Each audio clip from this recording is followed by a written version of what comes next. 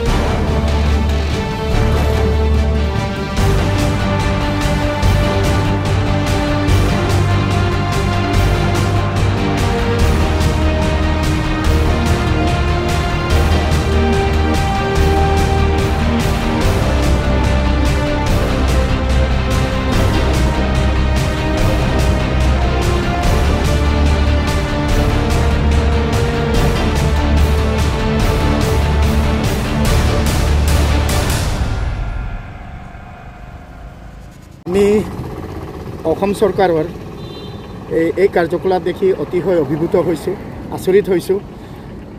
বিশেষকৈ আমি দোষাৰোপ কৰিব বিচাৰিছোঁ অসমৰ বন মন্ত্ৰী আৰু আমাৰ স্থানীয় বিধায়ক ভুৱন পেগুদেৱক। যোৱা শৰৎকালীন শৰৎকালীন বিধানসভা অধিৱেশনত পবা সংৰক্ষিত বনাঞ্চল কণিক অসমৰ ওঠৰ নং বন্যপ্ৰাণী অভয়াৰণ্য ৰূপে উন্নীত কৰাত ঘোষণা কৰা হৈছে। অসমৰ মুখ্যমন্ত্ৰীয়ে এই ক্ষেত্ৰত সহমত প্ৰকাশ কৰিছে। কিন্তু ইতিমধ্যে অভয়াৰণ্যৰ মৰ্যাদা পাবলগীয়া বনাঞ্চলখনিৰ কমেও ঘাইপথৰ পৰা অকল অসম খণ্ডটো অকল ঘাইপথৰ পৰা কমেও দুশ ফুট আঢ়ৈশ ফুট ভিতৰলৈ গছ কাটিবলৈ আজিৰ তাৰিখৰ পৰা আৰম্ভ কৰিছে।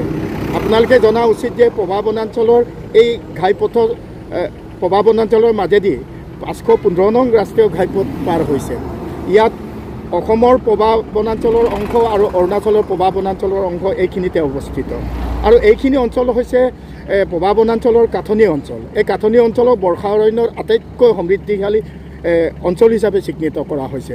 ইয়াতেই দুশ ফুট ডেৰশ ফুট ওখ গছ পোৱা যায়। আৰু মাতৃগছ যিবিলাক ডাঙৰ ডাঙৰ গছ গছনি এই অংশতে পোৱা গৈছে।